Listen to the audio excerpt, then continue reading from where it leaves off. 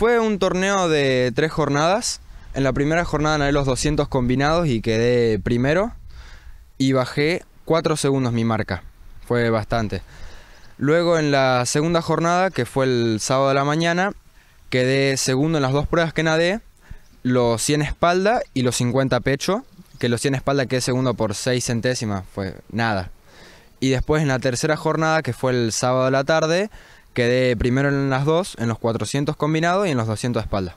Yo competí a nivel nacional ahí, en, Córdoba, Federado Nacional soy, y eso, esos tiempos se van al registro y bueno, ahí después te inscribís en un posible nacional con esas marcas. ¿Dónde se estaría concretando? ¿Cuándo? Y los nacionales generalmente son en Buenos Aires, en Parque Roca a esos dos, o sea, los dos nacionales a los que fui fueron ahí, pero también hay nacionales en Santiago del Estero, hubieron otros en Santa Fe. Y cuando todavía no tenemos ninguna fecha definida con mi entrenador, pero tenemos pensado ir a uno. Tenemos toda la mañana colegio y a lo mejor el colegio no, no es mucho de acompañar al deporte en este aspecto. Pero con mi entrenador siempre tratamos de organizarnos y hacer la mayor cantidad de turnos posibles por semana. Eh, yo entreno doble turno a la tarde y después a la noche y entreno gimnasio. Entre una hora y media y dos de pileta y una hora de gimnasio. Eh, contame un poco en qué consiste el entrenamiento. Y el entrenamiento consiste, hay varios tipos de entrenamiento. Generalmente los lunes tiramos entrenamiento de distancia, son largas distancias, pasadas de 800 o de 400, y después van cambiando hay entrenamientos, Tati hace los entrenamientos en torno a lo que yo necesite mejorar y de ahí entrenamos todo el equipo, porque es un entrenamiento general.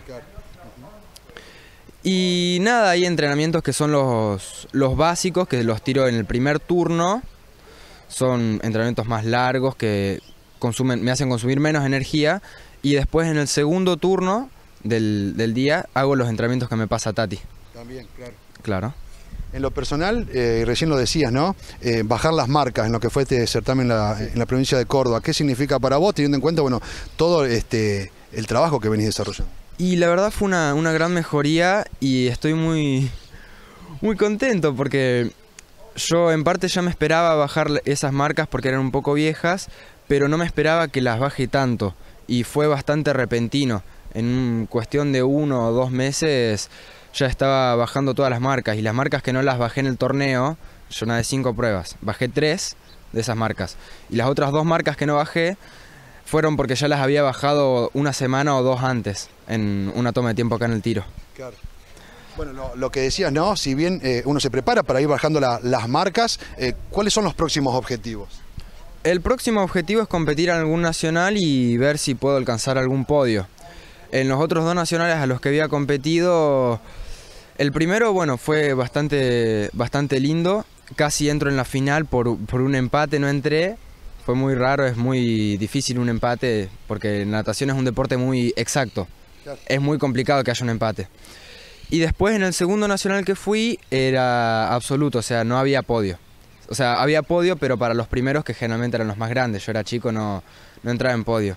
Así que bueno, el objetivo es ir bajando las marcas y ver si puedo llegar a hacer algún podio nacional. Y a larga distancia mi gran sueño sería ponerme la camiseta argentina y representar a la selección en algún torneo.